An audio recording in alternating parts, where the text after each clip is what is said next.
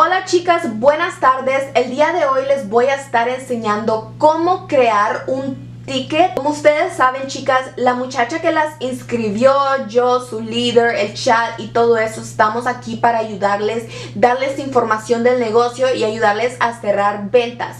Pero hay unas cosas técnicas que no podemos controlar y en cosas que no les podemos ayudar porque son técnicas. Así que a veces cuando yo tengo preguntas o necesito ayuda en algo, yo lo que hago es que realizo un ticket en mi eSuite, se van hacia arriba donde dice soporte y tiene esta opción de aquí, le hago clic a donde dice crear entrada, escojo la categoría que pienso de que se trata lo que quiero hablar con alguien que tenga así como que más conocimiento de ponerlo lo más cercano a lo que se refiere posible.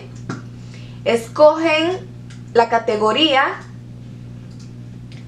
y después le pongo así como que un título aquí arriba y después abajo en el mensaje escribo exactamente qué es lo que quiero informarme con cosas técnicas. Por ejemplo, este, si no recibieron sus 100 dólares de crédito después de adquirir sus cuatro clientes, ahí lo van a poner. Este, no sé por qué no recibí, este, me pueden decir por favor por qué no recibí mis 100 dólares de crédito, ya inscribí mis cuatro clientes. Ahí es donde pueden poner eso porque nosotros como distribuidores no podemos dar esa información porque no sabemos por qué no les dieron los puntos ya que eso es algo técnico de eSuite. Así es como ustedes pueden crear un ticket, chicas. Yo utilizo esto bastante cuando no sé la información de algo.